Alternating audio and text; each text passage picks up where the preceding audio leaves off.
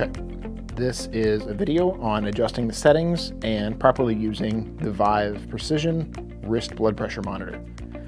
Got a new one here. It's already got batteries in it. takes two AAA's. Shut the battery door, you'll push it down and then in. So, just like so. New batteries in it, it'll turn off. You'll first one to adjust the settings press this button down here. It's going to ask you first to adjust the year. You can adjust the intervals with the top button and then confirm them with the bottom. So it's asking us if it's 2013. We're going to say no a few times until we get the right year. We're going to confirm.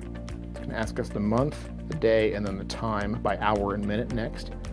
So we can adjust that to confirm adjust and confirm. In this case, the time is already correct, so we don't need to do any adjusting. We just confirm with the bottom button, confirm the hour and the minute, and it's gonna shut off.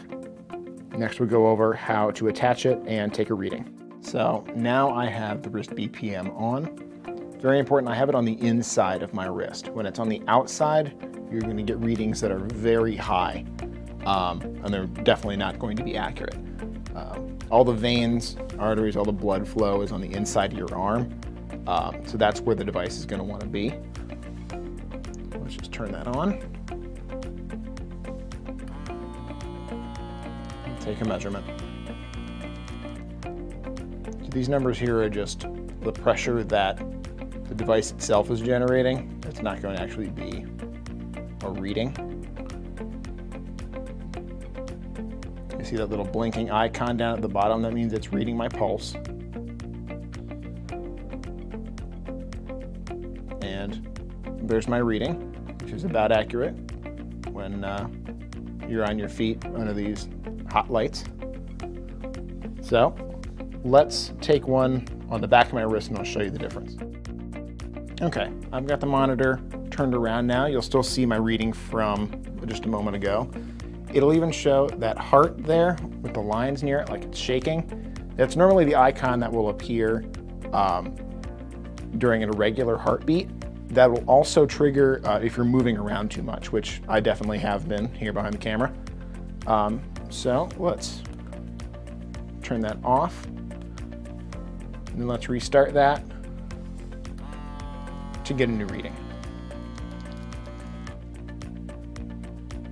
You're already seeing the pressure starts out much higher because the device is trying harder to find a reading.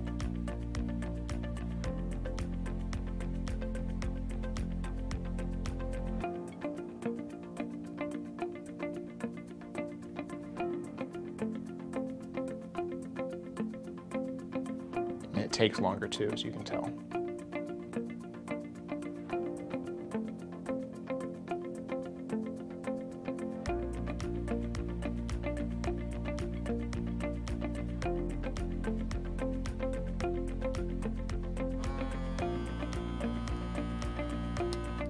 And it even tries again, that's how you know that you're not going to get an accurate reading. I'm just going to turn it off now so you can see that. That's really about all there is to it, just for the basic operation.